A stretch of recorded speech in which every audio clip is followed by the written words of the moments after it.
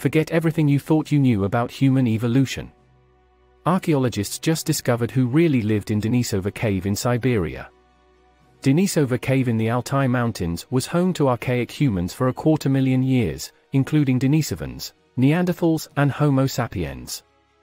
The question is, who lived there when and in what order? Denisova Cave is a crossroads of human evolution, deep in Siberia's Altai Mountains. Over tens of thousands of years, it was inhabited by various hominin species, not necessarily in this order, Homo sapiens, Neanderthals, and, of course, Denisovans, the elusive group discovered only recently at this site. Denisovans are an ancient human group. The genetic analysis of a tooth, and a tiny finger bone discovered in Denisova cave in Siberia's Altai Mountains provided our first tantalizing glimpse of the Denisovans. The fossil record of these mysterious humans is extremely limited, with only four fragments of bone and teeth and a jawbone discovered in Tibet. Their DNA, however, has revealed that they shared a common ancestor with the Neanderthals and our species, Homo sapiens, around 765,000 years ago.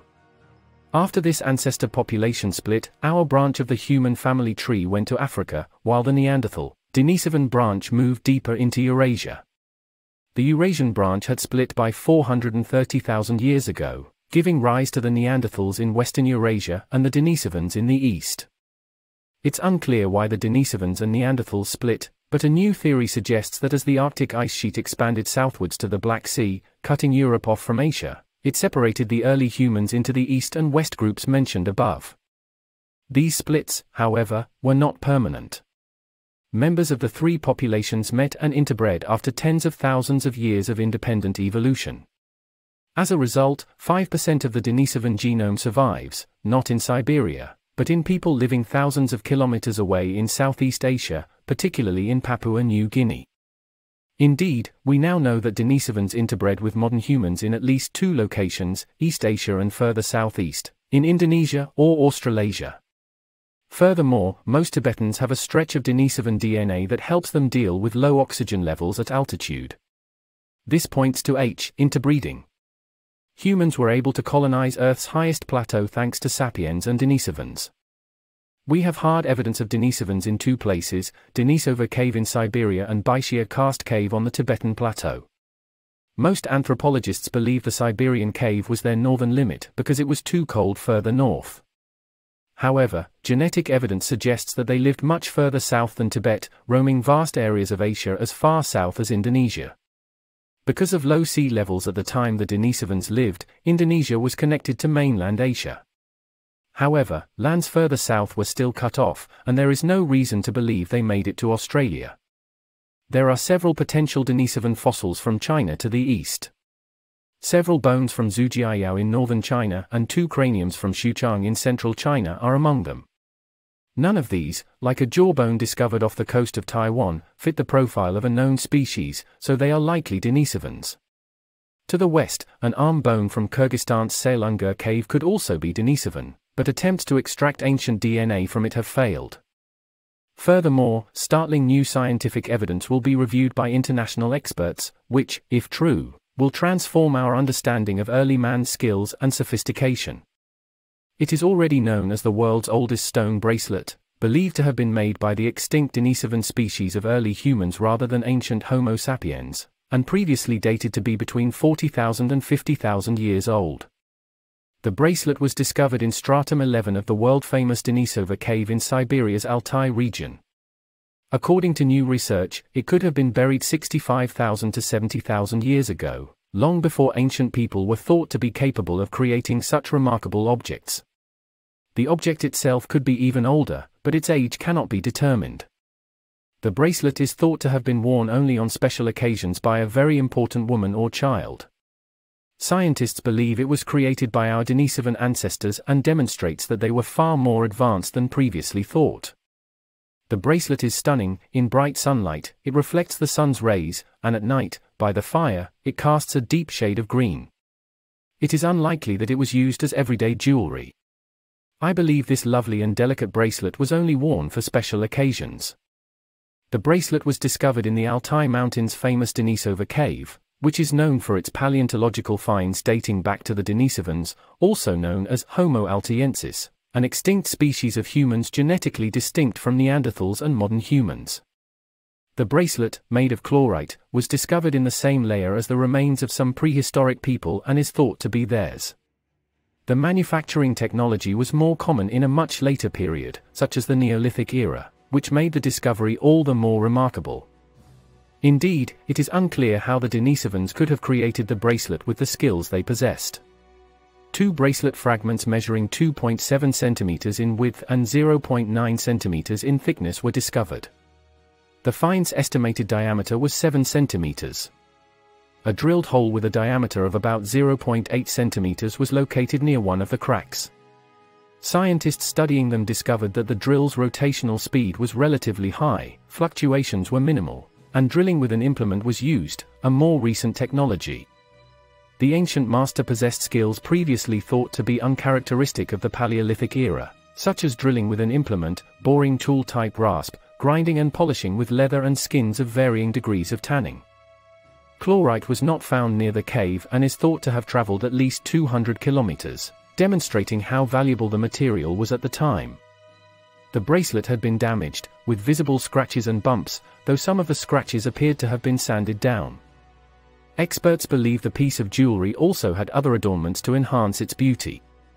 A limited polished zone of intensive contact with some soft organic material can be seen next to the hole on the bracelet's outer surface. Scientists believe it was a leather strap with a charm, and that the charm was quite heavy. Because of the location of the polished section, the top and bottom of the bracelet could be identified, as well as the fact that it was worn on the right hand. Further investigation of the site revealed other artifacts dating back as far as 125,000 years. Scientists believe the bracelet proves that Denisovans, who are now extinct, were more advanced than Homo sapiens and Neanderthals.